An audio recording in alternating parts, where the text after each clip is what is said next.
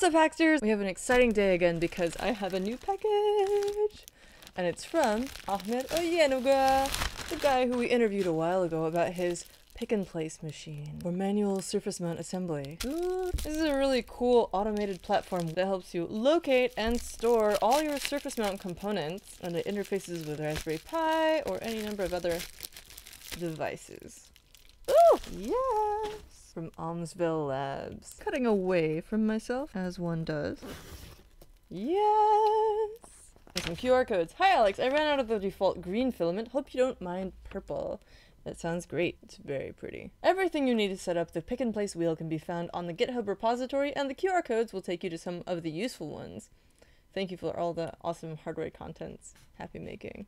Oh, setup instructions, Raspberry Pi setup, Windows application, and an example wheel project. For right now, we're just going to try and open this up and put it together, and later on I'll be setting it up so that I can assemble some of my PCB projects, which we've talked about on the channel before. Now let's take a look close up. There's such a cool system here where you've got these pieces that go into flexures on the main chassis, and you can choose how many different types of components you want to include. You'll see that there are multiple different wheels that work together. Very handsome PCBs with some little light diffusing 3D printed pieces over these LEDs. I'm guessing this is a funnel to help you get all the little components into the slots in the wheel in the first place. A very nice extra accessory. Look how nicely packed this is.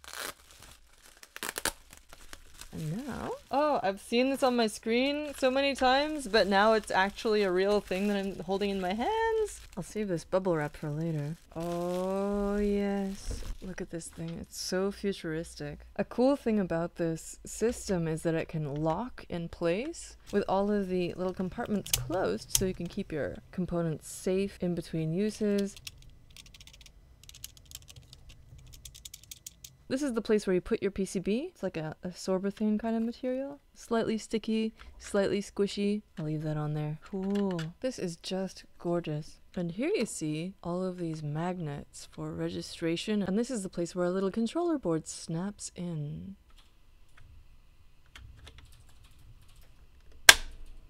There's a lot of custom bearings in this as well, which Ahmed talks about in our interview. Sweet!